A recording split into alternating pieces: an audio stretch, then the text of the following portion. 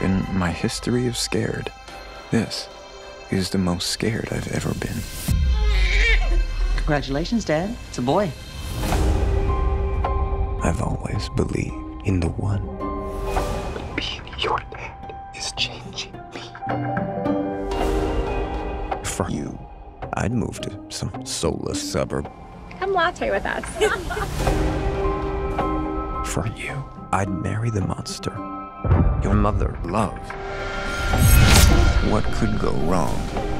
We both have done bad things. I wanted to move here so that we could start new. We're just the nice, normal neighbors next door. We are a team. The best team.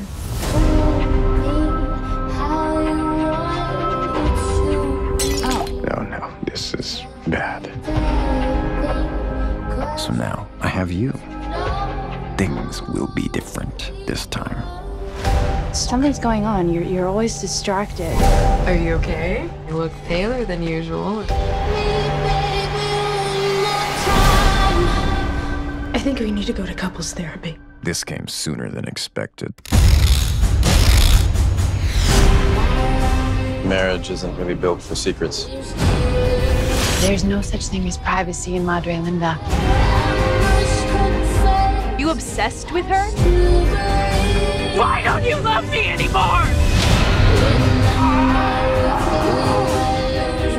I was plotting something and I can feel it. Why does everybody think I'm impulsive? You are not making me kill anyone! Neither one of you is going to kill your spouse. You're many things, but you are not murderers. Never thought to wonder what happens after boy gets girl.